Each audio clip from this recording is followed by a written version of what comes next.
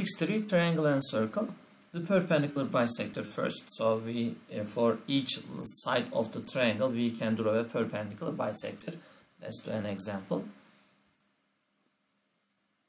There's a triangle. Let's draw perpendicular. That's the midpoints how we know it's written here the is midpoint. Yeah that's the midpoint.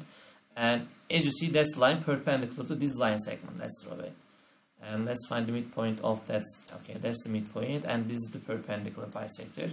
That's the midpoint of this size and if I draw the perpendicular bisector. So what we see when we draw perpendicular bisector they intersect in one point. So that's a special point because that's the center of the circumscribed circle of this triangle. As you see I can draw a circle that passes through three vertices of the triangle. So that's center of the three vertices of the triangle. So what's good about this point? This point is if you draw line segment from this point to the vertex or vertices let's change the color to make it clear. Okay, from this point if you draw the vertices these are the radius of the circle.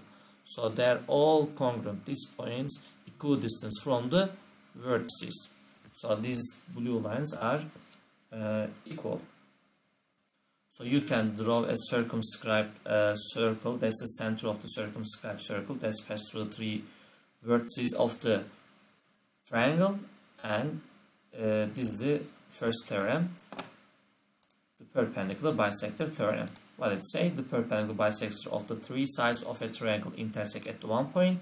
For each triangle there exists one circumscribed circle whose uh, center is the intersection point of the three perpendicular bisector of the three sides so these are the perpendicular bisector and they intersect at one point that's the center of the circle let's see this question. T is the center of the circumscribed circle. So what we know?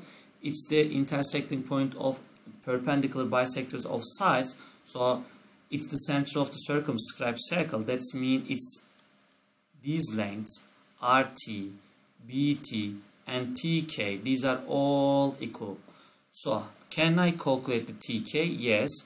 3, 4. So that's the right triangle. I can use a Pythagorean theorem. So let's say tk is uh, hypotenuse h the hypotenuse square equal 3 square plus 4 square the hypotenuse square equal 9 plus 16 hypotenuse square equal 25 hypotenuse equal 5 so I find this is 5 if this is the radius 5 so 2x minus 5 it's equal to 5 2x minus 5 it's equal to 5 because these are congruent. 2x equal 10 divide by 2 divide by 2 x equal 5 so we find the value of x